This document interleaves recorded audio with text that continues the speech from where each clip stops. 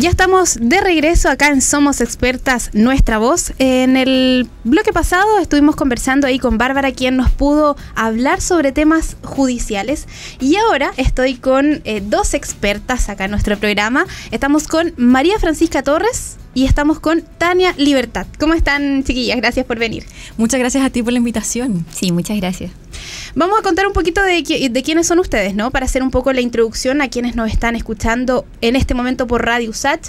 Estamos con María Francisca Torres, cofundadora y jefa de proyectos de Agencia Vecina, periodista, activista feminista, experta en comunicación con perspectiva de género, derechos humanos y comunicación política. Y también estamos con Tania Libertad, cofundadora de Agencia Vecina, publicista, activista feminista, experta en comunicación con perspectiva de género y derechos humanos con enfoque en inclusión, profesora del taller de creatividad y comunicación para la vida en comunidad de la carrera de bachillerato en ciencias y humanidades de la USACH. Mira, hoy día hemos estado con mucha gente ligada a nuestra universidad, así que estamos eh, muy en casa. Bienvenidas entonces, hoy día eh, en este bloque vamos a conversar básicamente de las comunicaciones, ¿cierto? Y cómo hemos podido transformar las comunicaciones eh, con perspectiva de género.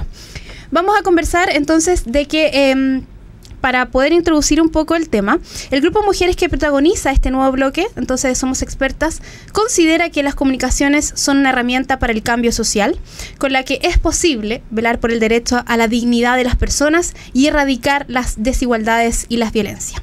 Ese es el trabajo central de Agencia Vecina, ¿cierto? Quienes nos van a contar un poco más de ello. La primera agencia de comunicaciones chilena sin fines de lucro, con perspectiva de género y de derechos humanos. Ya estamos entonces con la introducción. Es importante introducir, ¿cierto?, a quienes están escuchando en este momento nuestra radio, ahí sintonizando Radio Sach. Cuénteme un poco cómo nace la idea, ¿cierto?, de apropiarse de este espacio de las comunicaciones como una herramienta para impulsar cambios sociales. Me parece que ustedes, eh, esto nació en el contexto del estallido social, ¿no? Mira, sí, por ahí. Sí, por ahí. Eh, la verdad es que nosotras nos conocimos en una agrupación eh, que se llama el Observatorio contra el Acoso Chile, ¿El OCAC? En OCAC. Nos conocimos ahí y em, empezamos a generar lazos y empezamos a también a crear cosas en conjunto a, eh, nivel comunicacional. Mm. Luego de ahí nos movimos a la Brigada de Comunicación Feminista, que conformamos muchas de las que éramos parte de OCAC, entre ellas muchas expertas en periodismo, publicidad, diseño, eh, programación incluso. Y Luego de eso, solo tres de nosotras creamos la eh, Fundación Agencia Vecina, que es esta agencia de comunicaciones que tú bien comentabas, que tiene relación más bien con un sueño eh, que venía desde mí, en realidad, em, porque yo antes trabajé en 10 agencias de publicidad. Ah, ya. Sí, estuve, tuve, un, largo paso por, por las agencias de publicidad. Y creo que incluso fue desde el primer año en donde estuve en una agencia de publicidad que tuve este sueño de me gustaría conformar una agencia que no sea con fines de lucro mm. y que se enfoque en realidad en temáticas sociales, o sea, mm. que tenga un fin de la herramienta social mm. desde las comunicaciones y no eh, un fin de lucrar. Exacto. Y, en un mundo, perdón, de, la publicidad, que es bien paradójico, ¿no? Totalmente, totalmente. Y, bueno, y sigue siendo paradójico. Sí. y ahí, bueno, nos conocimos eh, con Fran y también nos conocimos con Inger en, en OCAC, como te comentaba. Mm. Y entre ese sueño y ese conocimiento, entre otros activismos que tuvimos, eh, las chicas apoyaron también este sueño, eh, fue parte de ellas también. Mm y eh, abrimos, firmamos un documento, de hecho, muy como un matrimonio, fue como un matrimonio, eh, y firmamos las tres ahí la conformación de esta fundación, porque, insisto, sí, somos una mm. agencia sin fines de lucro. María Francisca, sí. Em, estaba leyendo más o menos tu perfil, no puedo dejar de preguntar algo, que eh, lo que pasa es que a mí me gusta mucho el fútbol. ah, no. Listo. Se acabó todo. Muy, muy futbolera. Un mundo también de hombres, ¿no? Como de, siempre, muy masculino. Entonces, tú actualmente también eres jefa de comunicaciones de la Asociación Nacional de Jugadoras de Fútbol Femenino. Sí. Cuéntame, cuéntame un poco de eso. eh, entré a la HUF en realidad eh, como voluntaria de comunicaciones, me llamaba la atención, eh, sentía que tenía herramientas más desde la comunicación política para mm. aportar, porque sabía que ellas como organización gremial mm. eh, estaban tratando de empujar ciertas cosas y dije, creo que de pronto podría aportar desde, como desde mi expertise. Mm. Eh, y así fui avanzando en el equipo y ahora estoy a cargo de, de, las comunicaciones. Es una experiencia muy buena porque me permite no solamente eh, estar siempre pensando en comunicación política, que en el fondo es lo que ellas hacen, em, pero también sacar partes de mi personalidad que mm. en otros tipos de trabajos tengo como más guardaditos. Por ejemplo, mm. soy peleadora.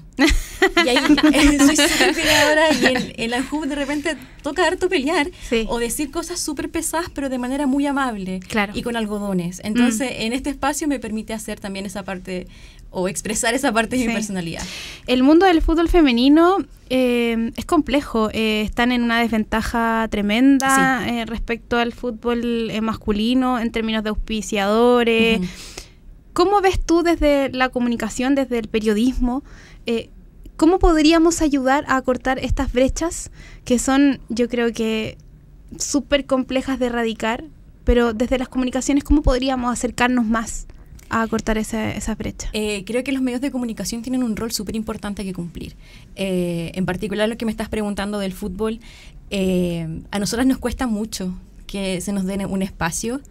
en general, si entendemos que somos eh, la organización más grande del país que habla sobre fútbol femenino. Mm. Y cuando pasa algo, suelen llegar a nosotras. Claro. Entonces, eso es ya un check positivo, mm. pero de todas maneras, en los espacios que regularmente son de fútbol, por ejemplo, en, en radios o en televisión que tienen segmentos de deporte y hablan, no sé, una hora y media de deporte, mm. a nosotras nos dan, si es que, y lo he cronometrado, 30 segundos. Sí. Eh, entonces creo que se podría hacer mucho más. Mm. O, por ejemplo, ayer mismo tuvimos una pauta eh, sobre el lanzamiento del campeonato nacional mm. y fue harta prensa, pero le estaban preguntando eh, a personas de la NFP sobre el campeonato masculino. Claro. Entonces, eh, démosle también este espacio que, que, es relevante. Sí, hay mucho trabajo que hacer. Me, salí de la pauta, pero es que, eh, es, interesante también porque somos expertas, aborda también todos los espacios, eh, fútbol, arte, música, así que quería aprovechar que estás aquí. y aprovechar de sumar también que eh, somos pocas las mujeres en, que, hacemos comunicación en el deporte, mm. son pocas las mujeres creativas en el área de publicidad. Entonces, eh, coincidimos con Tania que estamos en estos espacios mm. tratando de empujar, de tener infinita paciencia, de que nos expliquen lo que nosotras mismas hacemos. Eh, entonces es algo que igual nos reúne en la agencia también. Sí, me toca mucho porque mm, yo entré a estudiar periodismo justamente porque quería ser periodista deportiva. Mm, eh, sí, yo quería ser periodista deportiva. Eh, y entonces dije, la única manera que yo tenía de acercarme al fútbol como mujer era así pensaba yo, desde las comunicaciones, ¿no? Al borde de la cancha, me lo imaginé siempre. Después entré el mundo de la televisión, no me gustó tanto. es un mundo súper complejo, así que me retiré. Por eso quise eh, ahondar en este tema. Quiero que en el año más adelante puedan venir eh, a conversar más de este tema, del fútbol femenino, ¿cierto? Y que podamos acercar estas temáticas a, a, la gente. Para quienes nos están escuchando, estamos conversando con María Francisca Torres y estamos con Tania Libertad, ambas de Agencia Vecina. Cuéntenme entonces, eh, Tania, cuéntanos un poquito sobre qué es lo que hace Agencia Vecina. Mira, en Agencia Vecina hacemos un montón de cosas, la verdad. Eh, como todas las mujeres. Eh, hacemos un montón de cosas desde, bueno, nuestras propias campañas. Estamos trabajando con algunas organizaciones, fundaciones. También hemos hecho capacitaciones a municipios por ejemplo, eh, capacitamos a un municipio, su área de comunicaciones, para que lograra generar comunicación con enfoque de género y de derechos humanos. Eh, fue, un, de hecho, un viaje bien complejo, pero bonito. Eh, eso, porque las resistencias, ¿no? las resistencias son, mm. complejas, sobre todo cuando hablamos de este concepto de perspectiva de género. Salen algunas alertas, algunas barreras. Mm. Y nada, nos dedicamos a, generar diferentes campañas, ya sea como a nivel como con un enfoque publicitario, eh, hacer gestiones de prensa, eh, un poquito de todo, mm. eh, pero bien profundo, que es lo que nos interesa, que no sea como la cáscara, que es Mm. lo que nos ha pasado, como, sí, mira, vemos muchas campañas actualmente con enfoque de género, pero hasta por ahí, es una cáscara de- del enfoque de género, ¿no? Mm. No hay una profundización, ni siquiera en la línea en cómo se crean esas cosas. Entonces, eh, abarcamos varios puntos en realidad. Tenemos también eh, siempre las ganas de postular a más fondos para hacer más proyectos, pero como somos una fundación eh, Sí. ahí y además como jugamos con este tema de la no precarización, eh, Exacto. eh, es ¿Cuántas importante. personas componen la, la agencia? La agencia trabaja por proyectos, entonces el, el equipo va creciendo y achicando según, la- según las necesidades. Eh, pero sí, y sumando a lo que decía Tania eh, a- eh, antes, eh, nos preocupa mucho que también a la interna ser súper coherente. Cuando Mm. abrimos la agencia, lo primero que hicimos fue, ya firmamos estatutos, hagamos un protocolo. Claro. Porque conocer de perspectiva de género Mm. eh, no va a impedir, impedir, perdón, no va a impedir que eh, alguien ejerza violencia. Entonces Exacto. nos parecía súper importante tener un protocolo, un buen protocolo por el cual nos asesoramos. Mm. Eh, siempre nos preocupa tener eh, sueldos que correspondan y que sean justos. Exacto. Y cuando hacemos proyectos tratamos todas ganar por igual, Mm. independiente del rol. Si hay una jefa de proyectos, si hay una diseñadora, generalmente ganamos todas lo mismo. Mm. Eh, y además nos importa también, por ejemplo, si hay algo eh, que no necesariamente conocemos, porque no Mm. somos expertas en todo, Mm. eh, asesorarnos. Eh, eh, hacemos eso. Sí, en general la gente también nos pregunta cómo lo hacen porque son sin fines de lucro. Sí. Y la gente, no- porque hay, está esta percepción, ¿no? De que el sin fin de lucro significa eh, no, no tener, no tener un sueldo. Eh, y la verdad es que no, no. Lo que hace el sin fin de lucro significa tener otro fin que no sea el lucro. Claro. Eh, y generar, por ejemplo, si, si hay eh, al- algo, se eh, ponga de nuevamente en la agencia para que podamos seguir utilizando la comunicación como una herramienta para el cambio social. Mm. Es básicamente eso. Sí. Por eso hablamos de la no precarización y por eso Fran decía que nos preocupamos de que todas ganen lo que tienen que ganar. Sí, es súper interesante el punto del del sin fines de lucro. Yo he conversado con, yo tengo muchos amigos eh, publicistas, mi pareja es publicista, así que conozco muy bien el mundo de la agencia. Eh, y me dice que a veces tiene esta contradicción, ¿cierto? Como de eh, hacia dónde va la publicidad. La publicidad vende, generalmente, vende productos, vende, etcétera, un sinfín de cosas. ¿Cómo entonces se logra cambiar el switch eh, desde, desde ver la publicidad, las comunicaciones con una perspectiva de género? Hay una resistencia, me imagino, es Ujú. difícil. ¿Cómo lo ven ustedes? Creo que hay un cambio de percepción que es súper importante. Es algo que eh, aprendí de Tania, que la, que la publicidad también es comunicación. Como esa Mm. idea, eh, yo la incorporé en conversaciones con Tania. Mm. Eh, y eso hace que todo dé eh, un giro. Sí. Hay otro tipo de entendimiento. Sí, de pronto la, eh, la publicidad es, eh, como tú decías, vender algún producto, pero si lo piensas de comunicación, las mismas herramientas tú las puedes ocupar eh, eh, en otro sentido. Claro. Sí, de hecho, por ejemplo, la persuasión, ¿no? Mm. Que hablamos de la persuasión muchas veces en publicidad. Podemos utilizar esa herramienta, por ejemplo, para que la gente pueda donarle más a una organización que Mm. requiere, no sé, eh, ayudar a personas que, por ejemplo, tienen que mantenerse en un espacio universitario tra- eh, estudiando. Mm.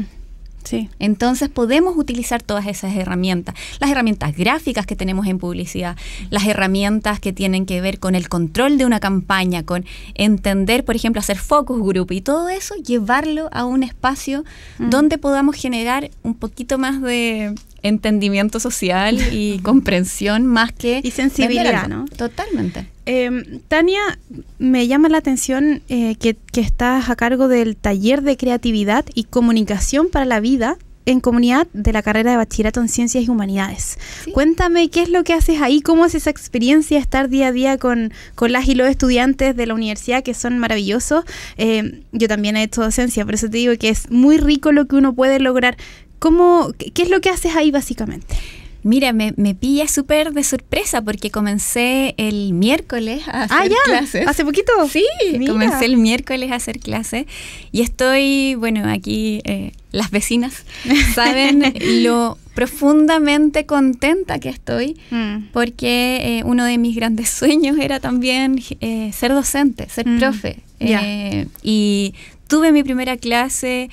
Eh, estoy muy contenta también que en bachillerato Mm. se haya contemplado Sí. la importancia de la comunicación en el contexto en que, se, que estén eh, eh, estas y estos estudiantes. Mm. Porque, por ejemplo, después pueden migrar quizás, no sé, a medicina. Y lo mismo que le explicaba, de hecho, en primera, en la primera clase, y que si me están escuchando, recuérdenlo nuevamente, em, que la comunicación les va a servir en el contexto en el que estén, Mm. Porque tiene que ver también con conectarse socialmente con las otras personas y generar comunidad. Mm, así es. Es un trabajo muy bonito, Sí. eh, el de la docencia y sobre todo de la comunicación. La comunicación es transversal. La comunicación no solo lo hablan los comunicadores y las comunicadoras, es para todas y todos. O sea, todas las carreras deberían tener esta, este tipo de, de materias que orienten, ¿cierto?, con perspectiva de género. Eh, en base a eso, para, para ya ir cerrando la entrevista, el tiempo pasa muy rápido. Eh, Muy de verdad rápido. que eh, me, me da mucha pena porque quisiera aprovechar a nuestras expertas aquí todo lo que pudiéramos. Eh, me quedo con esto último del tema de la educación, ¿cierto? Y cómo sensibilizamos al público. ¿Cómo creen ustedes que podemos relacionar esto con eh, las campañas, ¿cierto? ¿Cómo, ¿Cómo logran esto a través de sus campañas y sus proyectos de comunicación? Eh, creo que hay dos partes ahí. Eh, algo que nos importa mucho, eh, lo comentaba Tania antes, es la parte de las asesorías. Eh, nosotras tenemos casi como misión ir amplificando los mensajes de la importancia de comunicar con perspectiva de género Ujú. eh, y de derechos humanos. Eh, eso por una parte, pero además en las campañas mismas nos ha tocado generar mensajes educativos de, de por sí, Ujú. explicar, eh, voy a inventar, explicar por ejemplo que es un sitio de memoria, porque es importante, Claro. porque esto se relaciona con el sistema internacional de derechos humanos, por Mm. ejemplo. Eh, entonces para nosotras es súper importante tomar este tipo de desafíos que Exacto. eh, incluso estas organizaciones no necesariamente tienen los recursos para llegar a estas grandes agencias Mm. donde les cobran 15 millones de pesos por hacer una grilla mensual, por Sí. ejemplo. Eh, entonces, eh, ese rol también nosotros lo tomamos de- desde ahí. Mm. Qué, qué bonito lo que pudimos conversar en este bloque con María Francisca, con Tania Libertad. De verdad que habría estado toda una tarde. Eh, espero que tengamos otra instancia para seguir abordando los temas. Muy interesante el tema de la comunicación y cómo lo abordamos desde esta perspectiva de género. Un placer haberlas tenido en nuestra radio. Muchas, gracias. por la invitación. Y nosotros nos vamos a una canción, nos vamos a El Perdón de Pascual y la Vaca y Mon Laferte y regresamos en Somos Expertas, nuestra voz.